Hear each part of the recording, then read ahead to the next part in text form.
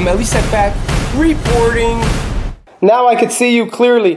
Rashad Holloway here with El Cucuy. Rashad, what's your game plan for the next fight? Are you guys in training camp? Are you guys waiting for a call? Are you, what's going on?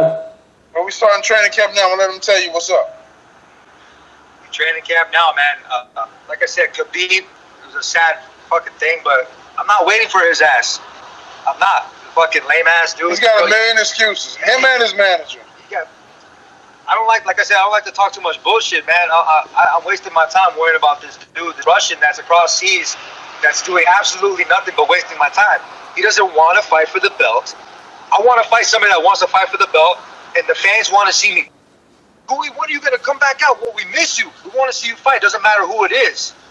I'm like, dude, tell me what's up. UFC, let's go. I'm, I'm showing up. I'm doing everything I have to do. I'm giving you guys a fight. So y'all fucking better be prepared because set them DVRs for fucking October 7th because Who we got? Who we got? dude, we got look in the talks right now. No contract signed yet, but the news is Kevin Lee. Now this dude wanted to call me and say that you're a fake journalist. I'm no fucking journalist. I'm a fucking fighter. I'm a badass motherfucking fighter, and that motherfucker's gonna find out how badass I am come October 7th at fucking Mandalay Bay. So he's gonna have his hands full. I got some of the world's best trainers, some of the world's best sparring partners. I'm opening up my own door, taking myself out of my comfort zone, and allowing myself to become part of another team again. It's hard.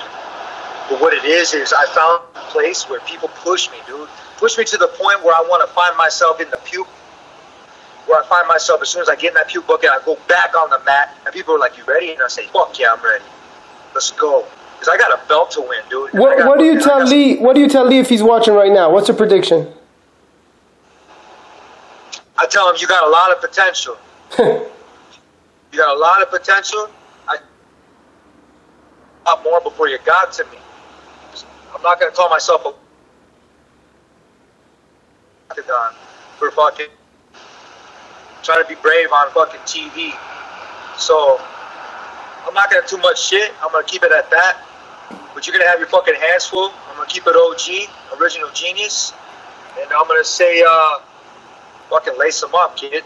Let's go. Okay, what Rashad? Yeah, what do you guys think of Canelo Triple G? Triple G's 170 right now. He's uh, usually uh, uh, Hold on, hold on. 160. I, I, hold on, I got to speak on the kid, Kevin Lee. He's a talented kid. It's the fight game, though. Anybody can get it. So he next in line. He got to go. He got to go, period. Ah, I see it. He got to go, period. He got to go. So that goes with Kevin Lee to anybody in that top.